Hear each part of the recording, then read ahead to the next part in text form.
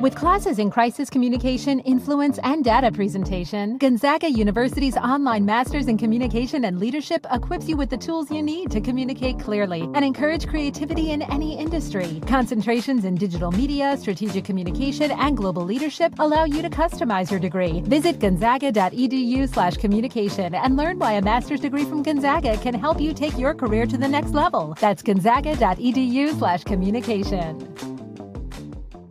In episode 82 of Pop Culture Weekly, I talk with the one and only Leslie Grossman from American Horror Story. Then I talk with the legendary Diane Warren. Let's go! Welcome to Pop Culture Weekly with Kyle McMahon from iHeartRadio. Your pop culture news, views, reviews, and celebrity interviews on all the movies, TV, music, and pop culture you crave weekly. Here's Kyle McMahon.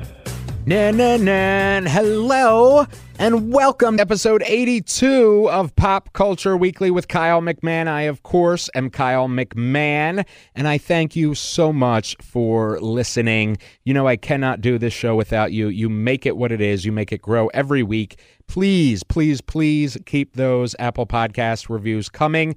It is really helping grow the show, and that means more artists, more guests, more directors, more actors and actresses, and uh, you know, TV stars and all that good stuff. And it's all because of you. So today we have a very cool lineup of guests. First up is Leslie Grossman from American Horror Story. And if you're not watching American Horror Story season 10, double feature, one, what is wrong with you? Two, this season is so good and it's like kind of split in two. It's kind of two stories in one season and Leslie is in both of them. In the first half of the season, the first story, uh, it is, oh, I can't say much if you haven't watched it yet, but she is delicious in her role. And of course, I loved her in last season's uh, uh, 1984 season as well. Um, that she is just so good. I love her characters. I love what she does with them. So I talked to her, and then I talked to the one and only, the legendary, one of the most awarded and best selling songwriters of all time, the one and only Diane Warren. I talked to her, uh, one, because she's amazing, but two, she is going to be honored at Film Fest 919, which you know is my favorite film festival. I go every year, and I wouldn't miss it for the world. This year, um, and Diane is being honored in a very, very special tribute on Mondays, uh, depending on when you're listening to it. Or I should say, she'll be honored at the Monday uh, programming day, Monday evening. So you can go to filmfest919.com. That's filmfest919.com and get all of the programming and uh, tickets. And it is such and when I say such an incredible film festival, you know I ain't lying. Uh, if I'm raving about it, you know I love it. And it's in Chapel Hill, North Carolina. The passes are extremely affordable, and you get to see the films before they catch on.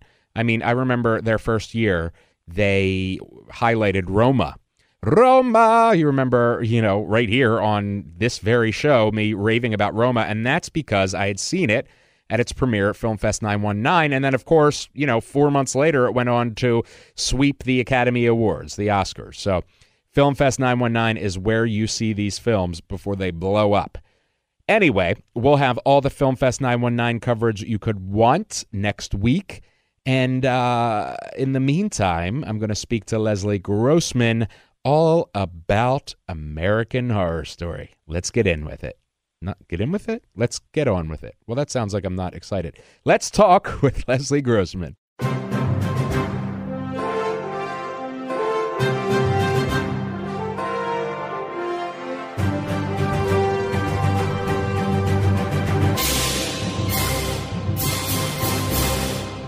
All right. I am here with the one and only Leslie Grossman. I'm so excited to talk to you. Thank you for joining me on iHeartRadio's Pop Culture Weekly.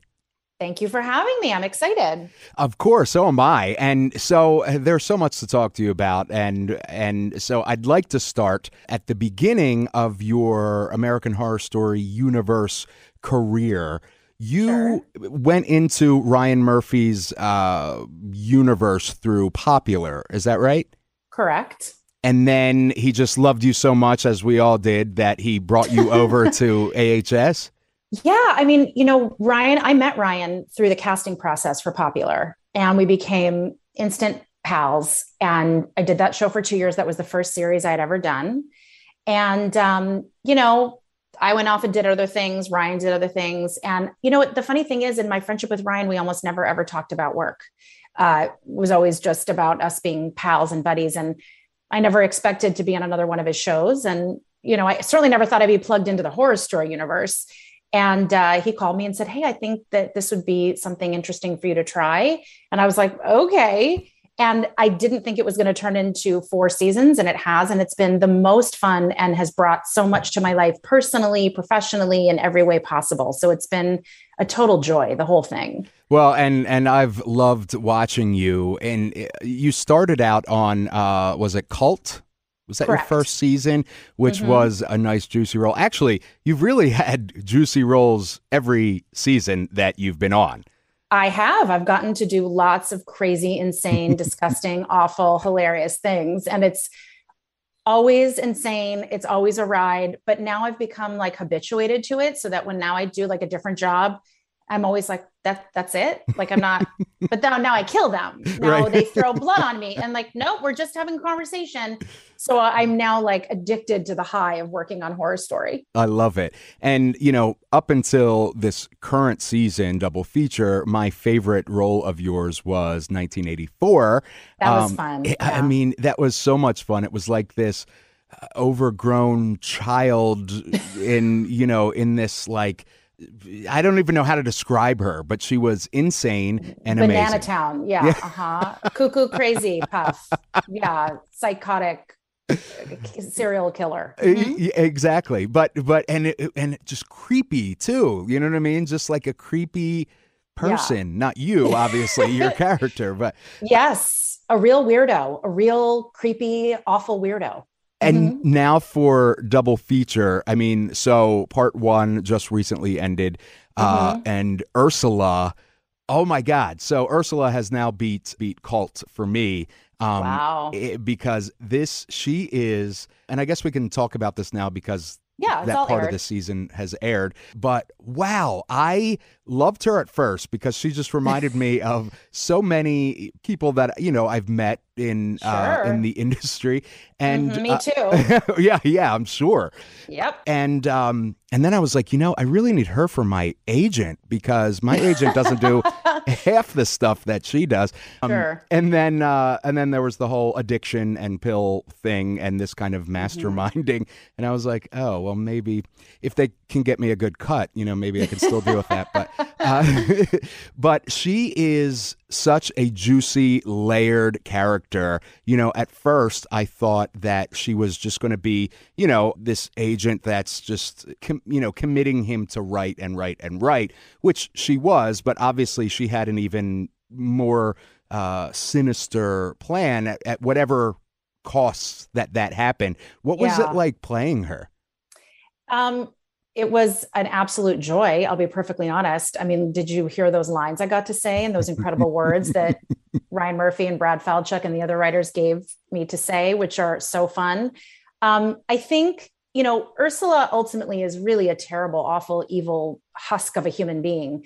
And when it comes right down to it, she collaborated with a minor child to get rid of Harry's wife, Doris, so that Harry could be unencumbered to just do what he needed to do to earn her as much money as she could possibly make. So, what a terrible, awful human being. But it is really fun to get to play parts where I say things to people that I would never, ever in a million years get to say to people to their faces in real life. And uh, I also really enjoyed working with Ryan Kiera Armstrong, who played Alma, who's a wonderful, wonderful actress. And she was so much fun to play with. And it was, I mean, there was a one point in the middle where I was like, wow, um, my character is collaborating with a child. That seems terrible. But the thing I love about Ursula is all bets are off. Who cares? It's all a means to an end to get what she needed and get what she wanted. So I have to say it was the most fun. I really liked it. And also I just I got to work with Finn who's so brilliant and Lily which was so great and it was just such a good experience. It was really super rewarding. Yeah, and uh, I'll tell you, as a viewer, it was so rewarding. I was on the edge of good? my seat. It is so good. Yeah. I really loved this one. I loved episode three and episode five in particular. I thought were amazing. Yeah, you know, and as you said, the cast was just absolutely phenomenal. Everybody did so uh, brought so much to their characters that it was so much more. And I was worried because I'm like, you know, it's kind of half of the time of uh, typical Yeah. time to tell the story. And um, no, these people were deeply rich, and and we got to see them flaws and all, mostly flaws. I'm so glad you liked it. Good, good, good. Yeah, I absolutely love it. And I've got to say, you know, with Ursula, I mean, she really, and uh, you know, as we watched the season unfold, she became more and more of this key component of driving everything that was you know essentially happening and then taking it to as agents t- tend to try to do taking it to the next level um Yeah, let's ride the train till the wheels fall off. Uh-huh. literally literally Mhm. how did you feel about that ending I, I was like wow that is not where i thought it was going to go well, the thing I love about horror story is you never know which way it's going to go, and that was I didn't know how it was going to end either. We were deep into shooting before I got that end thing, but I have to say when Ryan called me and told me that Alma was going to rip her father's throat out that I I screamed. I really did scream because that is as gnarly and ruthless and intense as anything I could possibly imagine. And you know, Ryan with her sweet, adorable face, you know, just like attacking her father. I just thought it was sort of hilarious and insane and crazy. And I was here for it. You know, I thought it was really kind of delicious in that awful, horrifying way. absolutely and she she is and, and, this is a testament to her acting she is a powerhouse i mean she She's was a powerhouse. creeping me out And the funny thing is, she is the most normal, regular, adorable, sweetheart, cutie pie you ever met. And then as soon as that camera rolls, she would lock into that character and become that person. And as soon as they yelled cut, she'd be like, Do you want to see what I drew? oh Like she's the sweetest. I had such a good time with her. I really, really did. And I mean, she's already, I think she's done like four movies since we wrapped. Wow. And she is someone you're going to be hearing a great deal from and just a terrific person and a really gifted actor, really gifted. That's incredible and it's and it showed on screen Yeah. And now for, and I'm, you know, I don't know what we can say or can't say for part two, Death Valley, but Mhm. I do know that you are playing a doctor. And that first, maybe not. Oh, Mm-mm. You know, people, I don't know how those things get out there. oh, okay. Theories get out there, but I mean, I don't, I can't tell you what happens, but I can tell you she is not a doctor. I don't know where that came from, Okay, but awesome. She- but I know that's been floating out there. No, she is not. But see, keep going, keep asking. well, the I you know watched the first episode, which was delicious, and Yeah. I love the back and forth between the past and uh, Yeah. the present. Very very interesting storytelling, and I am on. This is very different in my opinion for American Horror Story, and I am super intrigued by this. What can you tell me? well, you know that there's only so much I can say. Of course. I don't want to get in trouble. Of course. Um, I can say that I think it's really clever and smart and out there. And uh, I think Sarah Paulson as Mamie Eisenhower is just the greatest thing ever. Um, I, I, I, I think it's fun. I think it's a lot of fun. I think there's going to be a lot of fun things for people to figure out. Um, I also just think it's incredible that season after season, and that this being double feature, so it's one season with two separate ideas, that there's just always something completely different and totally new. That is not easy uh, to keep coming up with totally novel ideas, and Ryan does it every year. So I, I think it's, I think it it gets crazy, and I think it's fun. I cannot wait, and I cannot wait to see how it all unfolds. I cannot wait to see you. And um, and are you good? Is more AHS in your future? You know, I have no idea. I always say if Ryan invites me to the party, I go to the party happily with bells on. I don't know. I don't think he has, I don't know what the idea is for next year. I have no idea. So who knows? Stay tuned. Maybe yes, maybe no, whatever. I don't know. Stay tuned.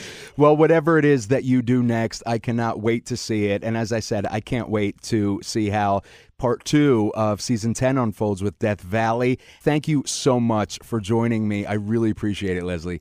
Thank you so much. It was nice to talk to you. You as well. Okay, obsessed with her. Absolutely love her. She is amazing. And if you are not watching American Horror Story season 10 double feature, you really, really, really need to watch it. Uh, the second half of the season just started, and you can jump right in or start at the beginning of the season and catch the first half, which is a whole its own story in itself. I love her, love her every season she's on and I can't wait to see what comes of her in this season of American Horror Story, season 10, double feature. All right.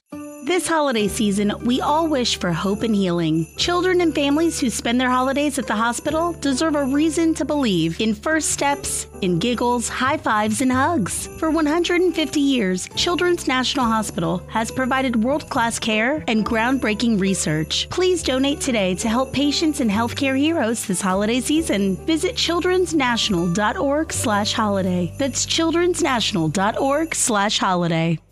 Now, this next guest, I mean, I don't even know, like, what do you even say about somebody so legendary? She is, uh, oh my God, a songwriter, musician, record producer.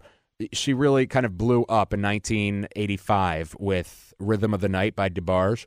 This is the rhythm of the night. She's so amazing. She became the first songwriter in she became the first songwriter in history to have seven different songs, all by different artists, on the singles chart at the same exact time. The same exact time. Seven different hits on the charts by seven different artists at the same time. She has written nine number one songs, 32 top 10 songs on the Billboard Hot 100, including Because You Loved Me, Celine Dion, Because You Love Me. Uh, if I could turn back time, Cher. If I could turn back time. Uh, How Do I Live, LeAnn Rimes. How do I live without you? Oh, I Don't Want to Miss a Thing by Aerosmith. And I don't want to miss a thing. I don't know why that still sounded like Cher, but whatever. Uh, she is just incredible. She's won a Grammy, an Emmy, two Golden Globes, three consecutive Billboard Music Awards for Songwriter of the Year, nominated for 12 Academy Awards, and has been inducted into the Songwriters Hall of Fame, has her own star on the Hollywood Walk of Fame. She is absolutely incredible, and I love her and I've loved her since she came out. Let's talk with the one, the only Diane Warren. All right. So I am here with the one and only. I mean, I there's so many things to say about you. 12-time Oscar uh, yeah, exactly. 12 time Oscar nominee, uh, one of the greatest songwriters of all time, one of the most celebrated songwriters of all time. Nine number one songs, 32 top 10 hits, the one and only Diane Warren. Thank you so much for speaking with me. Thank you for having me. Of course. So I want to talk to you about uh, Film Fest 919 as well as um, your album, your debut album. But if you don't mind, I'd like to go back for a little bit uh, to ask you, you know, I love your work is, is so incredible. And um, so from my, you know, what I'm curious to know is what got you into music in the first place as a songwriter? I just love music and it was what I wanted to do. It's kind of as simple as that. And was passionate about it and decided this is what I was going to do and, and never looked back and never had a plan B and just worked hard. And, and it's what I continue to do. It's all about you know, you need to, if you have talent, you know, which, you know, you have to be born with some, some amount of talent, but you have to work at that talent. You have to work at your craft. So I do that every day in my life. And, and your body of work is so varied. You've worked with artists, you know, country and pop, and uh, even some hip hop and and rock. Is there, or when you're writing these songs, do you have that you know genre in mind, or do you just write and whatever comes out comes out? I mean, I've just always written songs in, in all kinds of genres. I think you know most songwriters are usually in one kind of area, whether they're pop or whether they're in hip hop or you know urban music or country uh, or Latin, and I've just or rock, but I've always you know always been in all worlds, and you know to me, you know it's all about writing a great song, no matter what what genre it is. You know, and a great song is is doesn't have a genre and doesn't have a time, right? It, it, it will live in any genre and live in any time, you know. And I think, and my album, you know, we're talking about my album, it's almost like a microcosm of that, really.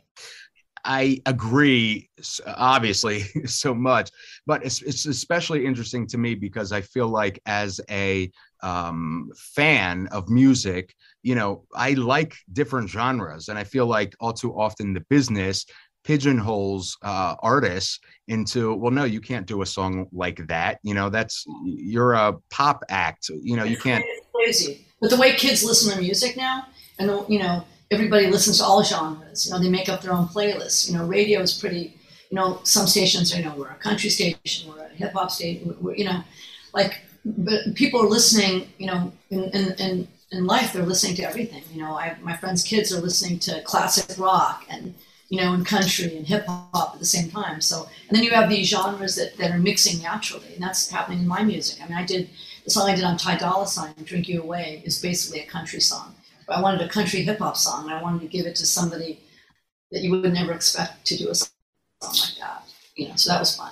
I love that, and you know, I just got back. I uh, was doing um, a feature with Firefly Festival, which is a four-day festival uh, over the weekend, and the lineup, in my opinion, is starting to really reflect you know people's especially the industry's acceptance that okay wait a second maybe maybe people do listen to different things you know, there was uh, Lizzo was the headliner um, uh, last night, and Tame Impala the night before, and you know, so it's it's I think starting to to the industry doesn't have a choice really anymore. You know.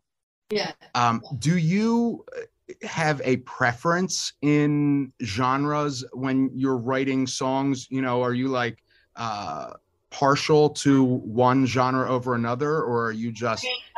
I just like writing great songs, and every now and then I achieve that. You know, so it's just about. I just love I love doing this, and no matter what genre it is, you know, I'm I'm the one I'm writing like today is like like it's almost like a Latin hip hop kind of thing. So that's kind of different, you know. Um, something I wrote last week was kind of an Afrobeat song, you know, and then what I write next will be totally different than that. So it's always just you know bringing new you know flavors into what I do and and just continuing, or even if it's what I normally do, just getting better at it. How often are you writing? You're just writing every day, all day? I'm not, yeah, I mean, basically every day, you know, Sundays, half a day, you know, but, but basically every day, you know.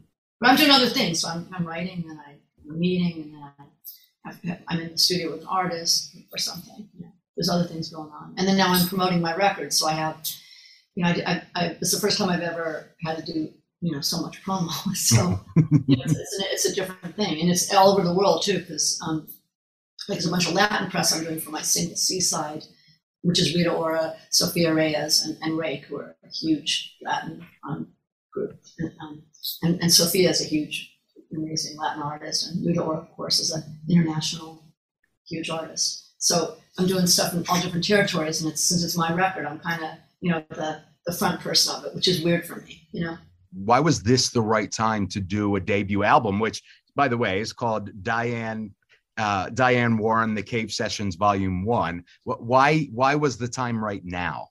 Why not? you know, it was just like I didn't. The idea had been percolating in my brain since all these kind of DJs do it. You know, um, it's usually producer DJs, and I thought let's you know, let's have the songwriter version. Let's have it be me. You know, so you know, and I and, it, and it'll be a great way to showcase all the different styles I'm in. I mean, you wouldn't know the same person that wrote, you know, the G-Eazy Santana song "She's Fire," wrote the John Legend ballad, you know, "Where's Your Heart," or that the same person wrote the Pentatonix Jon Batiste song "Sweet," or the you know, you know, or wrote you know, I mean, they're all the songs are also different, or wrote the Maren Morris song. You know, it's all over the place. You know, and Uh, and I agree. I think it's I think it's incredible, and I love that you do that. You know, because as you said, so many producers and and DJs do it. Why they don't not write the songs by themselves? What'd you say? And they don't write the songs by themselves. Right. Right. Uh, and you have a song on there, Somehow You Do, with uh, Reba, which is your third time working with her. It's not on my album. It's It'll be on Reba's album, and it's from the Glenn Close um, Mila Kunis movie, Four Good Days, which is an amazing movie about drug addiction, which is a real, a real problem in America right now, opioid addiction. And I wrote the song Somehow You Do for that movie, and I wrote it as a song about hope. So you know, through whatever through whatever hard times you're going through within that movie, it's about the subject matter in that movie. You know, everybody's going through hard times, and this is a song about that. You know what? When you think that you can't do it, some way, somehow, somehow you do. So I'm excited about that. And yeah, I, it's the third song I've done with Probably my favorite. And definitely my favorite. When you are writing, you know, whether it's for your album or for a soundtrack, is this? Do you put yourself in the character of uh, you know the the the voice of of who yeah. we're listening to or yeah. is it from experience I, I i write that song to fit that movie to fit like to tie in to tie it in to tie just emotionally i just kind of connect with that movie and i write the song that i want to hear and either in that movie or at the end of that movie you know so it's kind of like it's like some directors say they make the movie they want to see you know i write the songs i want to hear and, and, and I write the song in a movie that I want to hear at the end of that movie. And so, Film Fest 919, which is my favorite film fest uh, ever, um, is coming up very soon. And you are getting a very special award, the Spotlight Award, um, on Monday, October 18th. And you are going to be um, celebrated once again, this time at Film Fest 919. There's going to be a uh, moderated conversation, and um, we're, we're going to be hearing about your work uh, in, in song and, you know, so many of, of our favorite films. What is that like for you to kind of do it with the lens of talking about your career? I mean, you know, I like to talk, you know, yeah, I mean, I'm always what's interesting for me personally is what is what I'm doing, and what I what's yet to come. You know, it's cool to talk about. I know I'm proud of, of what I've achieved in, in the songs and, and, the songs in these movies and things like that. But I'm what's always interesting to me is what I'm doing now and what's coming. And I'm doing a lot of really exciting things. There's a lot of good stuff coming. So we'll talk about all of it. Awesome. And you have uh, actually uh, an, another song featured in a documentary that's playing at Film Fest 919, The Mustangs. Uh, yeah. And that song is performed by Blanco Brown. Yeah, Can you tell me a little bit about that? Yeah, it, that, that's called um, um, Never Gonna Tame You. And, you know, it's a song that, that I was inspired by, you know, the plight of these horses and, you know, these wild Mustangs. Right? They're, they're, they are America, you know and what, what's happening to them is terrible. Um, and they they need to be free just like we need to be free. And when I, when I wrote that song, I wrote it, you know, obviously about those the horses, but then outside that movie, it about about all of us, you know. We're all, no one's going us. You know, you got to live free. You got to live your life, um, whether whether you have four legs or two. You know, um, and Blanco, his vocal on that is one of the best vocals I've ever heard in my entire life, ever. Wow. I don't know how he did those notes, but he did.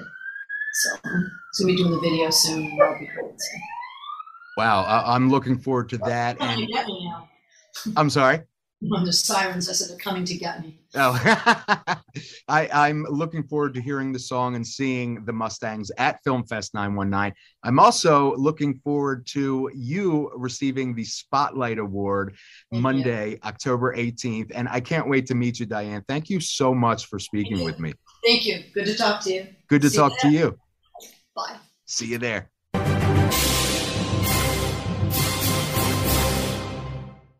Guys, I just had Diane Warren on my show. Diane Warren. I freaking love her. I just I you know, you guys have are making my dreams come true and I can't thank you enough for that. She has been one of my favorite songwriters forever and she deserves all of the success that she's had. Uh, by the way, besides the songs that you know I've talked about, she did "Music of My Heart" with NSYNC and Gloria Estefan. Music of my heart. There you'll be from Pearl Harbor, Faith Hill. And everywhere I look, there you'll be. She's just, I. It's just insane the amount of hits. Oh, by the way, Michael Bolton how can we be lovers if we can't be friends? this isn't my first time singing that song on this show. Uh, Unbreak My Heart. Unbreak my heart. Say love me again. Uh, what else? Uh, uh just um, uh, oh my God! I, there's so many I can't even pick. I'm looking at this list and I just love them all. Love will lead you back. Love will lead you back. Someday I just know that love will lead you back in my arms. Uh, you haven't seen the last of me, which was Cher from um, was that movie? It was so good. Uh, not stripping. what the heck was the movie called? Br- uh, bruh. Oh my goodness! This is why I need a co-host. Um, what was that movie with Cher where she's burlesque? There you go, burlesque. Um, you haven't seen the last of me. Just she is just uh, an icon. She is an icon in music and pop culture, and we don't deserve her. And let's not forget, she just released her first album.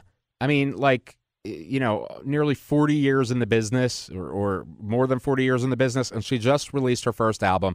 Diane Warren, The Cave Sessions, Volume 1. And I mean, it has times like this with Darius Rucker, She's Fire, G Easy, Carlos Santana, Rita Ora, Sofia Reyes. I mean, just an awesome album, which of course you can get wherever you get your music legally, just like on the iHeart Radio app. All right. All right. So that is our show for today and for this week, I should say. And uh, thank you, as always, for being here with me. I love being here with you. I love that you guys are here with me. Please keep on hitting me up on social. Keep sending your emails. Keep sending me your hate mail when you're angry. I try to read it all. Can't respond to it all, but I do try. And keep sharing the show to your socials, to your friends, to your family uh, you know, it really, really, really is helping grow the show every single week. And I cannot thank you enough for it. All right, next week it's all about Film Fest 919, Film Fest 919, and I will have the uh, the your Film Fest 919 coverage live on our socials and, of course, on popcultureweekly.com. So be sure to check out my socials and popcultureweekly.com all next week for your Film Fest 919 coverage. All right. Guys, I interviewed Diane Warren. I can't believe it. All right. Love you. We out. Thank you for listening to Pop Culture Weekly. Hear all the latest at popcultureweekly.com.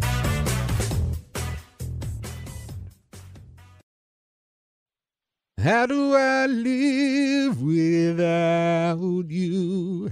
I want to know. How do I breathe without you? If you ever go, how do I ever, ever survive? Oh, God, that's a little bit out of tune. We should have done another take of that one. Spark innovation across your federal agency with IT hardware, software, and services from Connection Public Sector Solutions. Your technology procurement challenges will meet their match as Connection's dedicated account managers offer exceptional customer service, and our extensive list of supported federal contracts means you'll always get a price that works for your budget. Learn more about innovation for your agency with Connection Public Sector Solutions at connection.com/fedcontracts. When we talk about McDonald's combo meals, we talk about savory meat, golden fries, and your favorite drink. Now, the combo meals just got crispy, juicy, and tender with the new Crispy Chicken Sandwich combo. And you have to try it. Get a classic or spicy crispy chicken sandwich with medium fries and a medium soft drink like Sprite for only six bucks. Promotion pricing may be lower than meal pricing, cannot be combined with any other offer. Ba da ba ba ba.